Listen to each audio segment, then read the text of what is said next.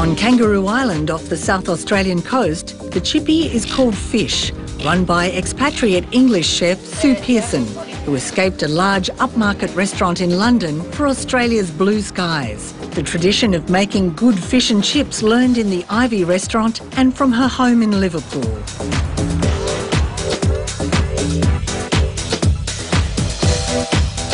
Just plain flour into the bowl, make a well into the centre. I mean, I use this Cooper's Stout, which is a strong beer. Good South we use- Australian, yeah. Absolutely. And now I'm going to start incorporating some water in there.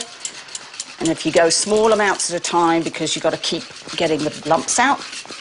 Oh, it turns a really lovely uh, brownie colour Yeah. too, doesn't it? Oh, wait till you see it coat the fish.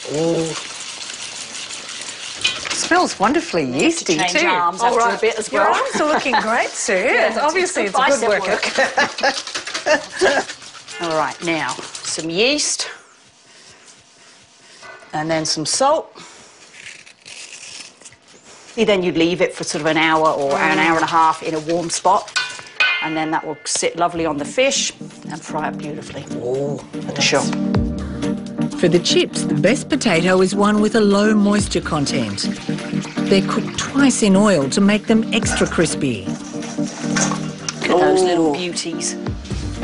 Wow, that batter's really come alive, Sue. It sure has. It's a living thing, isn't it? We're going to just lightly coat this flathead. Once you cook it, it's beautiful and flaky. And now I'm scraping the excess batter off because that way ah. it's not going to be too thick and it's not going to be oily and greasy. It won't retain it. Cooking in what sort of oil? Canola oil. Gee, it really puffs up in the heat too, doesn't Sure it? does, yeah.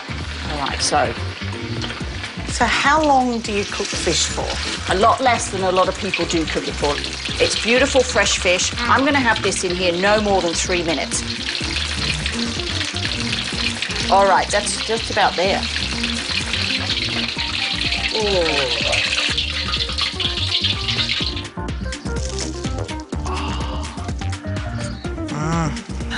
Yeah, mm. A good batter, you should be able to hear mm. there it is. Mm. that fish. Mm. Perfect. Well, you certainly don't have a view like this in England eating fish and chips. No.